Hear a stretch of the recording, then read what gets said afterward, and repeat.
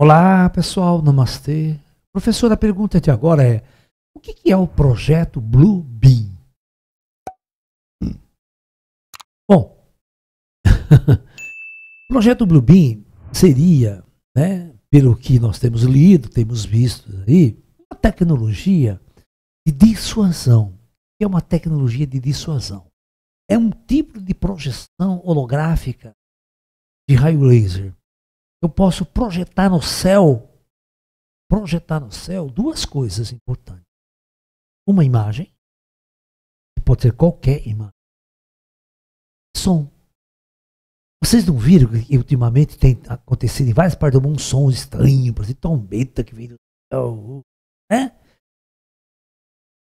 E os caras estão querendo, né? Então, imagine você tendo uma tecnologia dessa, você chega lá do Oriente Médio né, e projeta uma imagem do Maomé no céu. Todo mundo cai de joelho. Você está entendendo? Uma imagem de Jesus, no rosto de Jesus. Isso causa um impacto emocional nas pessoas. Você não tem noção. E até você descobrir que aquilo não é uma manifestação divina, e sim fruto de uma tecnologia avançada nossa, secreta, você começa a manipular as pessoas. Entendeu? Então, por isso que muitos nessa hora estão alertando para que quando aparecerem essas coisas, não é Jesus que está voltando, não, viu? Está no céu aquela coisa de umas imagens assim, e você passa a acreditar que Jesus está voltando, Jesus. Não, pode ser uma tecnologia de. que é essa ideia do projeto Rubim, produzir sons. Já pensou produzir palavras? Parece um Jesus falando no céu para todo mundo? Hã? Você vê que puta impacto isso tem? Nego vai se dar jogado no bolso. Então, essa seria o conceito de você projetar imagens holográficas em determinado lugar, não é só no espaço. É projetar imagem holográfica à distância. Isso pode ser usado como arma de guerra. Projeta um avião no espaço. E você engana toda uma. Você quer ver que interessante? Principalmente se a gente conseguir criar uma certa estrutura nessas imagens que o radar detecta. Tá? Imagine a cena, presta atenção comigo. Eu vou fazer um ataque, vamos dizer, Israel vai fazer um ataque no Irã. Certo? Certamente Israel vai mandar aviões. E aviões de alta tecnologia, invisíveis. O radar.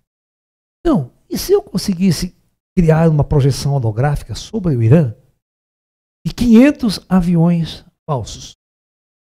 500 hologramas de aviões eles iam atirar nesses aviões, é, é à noite, eles iam atirar, gastar toda a munição numa imagem holográfica e os aviões verdadeiros destruindo tudo. Imagine que arma de guerra você não teria nas mãos, que é uma arma de enganação. Você criar uma imagem falsa, um pico falso no radar, para que ele pense que é um míssil, um avião, ele vai desperdiçar armamento contra uma imagem. E é projetada lá de próprio Israel no espaço aéreo do, ou projetado até por um avião, arma colocada num avião especial de alta altitude, criando essa imagem falsa holográfica. Então o projeto Bibi não é só botar a imagem de Jesus no céu. Pode ser uma tecnologia muito mais sofisticada de guerra. Entendeu? Pense nisso.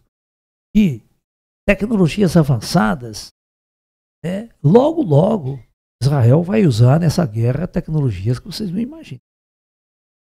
Contra o Hamas, dá para usar essa tecnologia, porque jogar avião convencional mesmo, mas contra outros sistemas.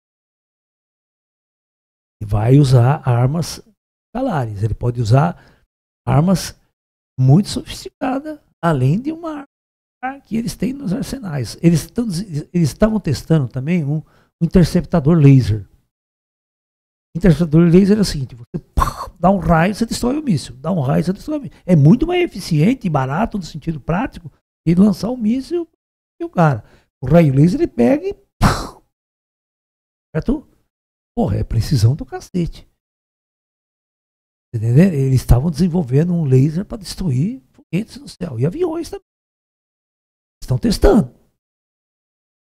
Então, isso é projeto Bluebeam, tá? Namastê.